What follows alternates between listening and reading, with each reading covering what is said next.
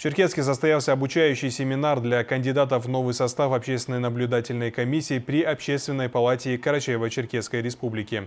Каковы цели и задачи обновленной комиссии, какие требования кандидатам и как будет проходить взаимодействие с комиссией Общественной палаты России, узнавал Мурат Джанкезов. Согласно федеральному закону, общественные наблюдательные комиссии, сокращенно ОНК, осуществляют общественный контроль за обеспечением прав человека в местах принудительного содержания. Члены комиссии имеют право беспрепятственно посещать соответствующие учреждения и проверять то, как соблюдаются права задержанных, арестованных и осужденных. 9 июня был дан старт формированию нового состава наблюдательной комиссии в Карачаево-Черкесии.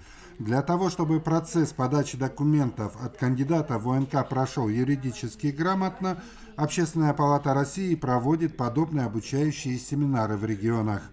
Мы проводим ряд рабочих встреч с представителями силового блока, так называемого. Это органы ФСИН, э, МВД и прокуратуры. Также мы проводим э, встречи с представителями сказать, э, правозащитного сообщества. Это уполномоченные по правам человека, общественные палаты региона.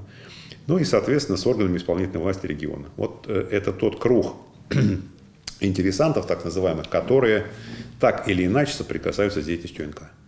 С каждым из них мы проводим рабочие встречи, ну и как бы финалом или апогеем нашей сказать, такой поездки является обучающий семинар. Председатель комиссии Общественной палаты России по безопасности и взаимодействию с ОНК Александр Воронцов проинформировал участников семинара проходящей сейчас процедуре выдвижения кандидатов в новые составы ОНК субъектов страны, о задачах, которые будут стоять перед обновленными комиссиями и возможных сложностях в процессе общественного контроля. В формате диалога, в формате общения как раз обсуждаем те вопросы, которые стоят сегодня перед Институтом ОНК, новые, э, так сказать, процессы в законодательстве, новые требования к самим комиссиям, ну и, соответственно, отвечаем на вопросы кандидатов, ведем такой диалог. То есть сам формат обучающего семинара – это некая такая оболочка. А вообще наша задача – это провести диалог именно по тематике развития УНК в каждом регионе страны. Общественная палата России, понимая отсутствие коммуникации между регионами, сформировала и закрепила на законодательном уровне Координационный совет, в который вошли все председатели региональных ОНК. Благодаря этому в субъектах появилась возможность коммуницировать, обмениваться информацией, проводить обучающие семинары, делиться победами и проблемами. Э, ну, вертикаль, да, это а, Общественная палата России и субъекты, и горизонталь – это взаимодействие между самими субъектами. То есть мы добиваемся таким образом того, что региональный УНК начинает контактировать между собой, решать вопросы, которые, ну, допустим, интересы людей, которые живут не все, они могут находиться в местах на содержания на своей территории.